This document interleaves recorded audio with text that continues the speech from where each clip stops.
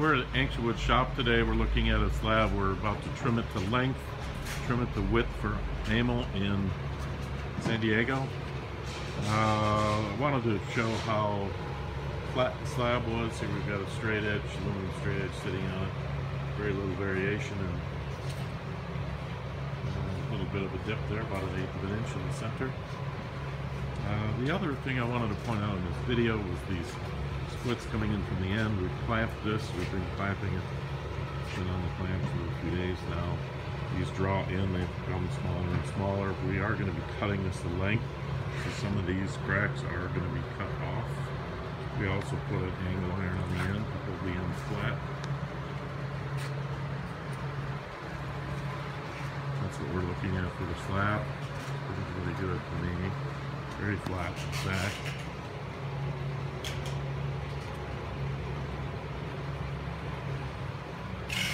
I've got some more splits on this end. We're going to be, as we cut to 52, this one on the far left is going to be cut off.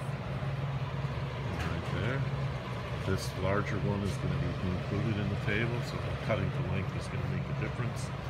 Got a little swing on this end. We're going to be trimming the bench swing to minimize that right in that corner. Right there. Anyway, there's the slab. She's a beauty. All white bait.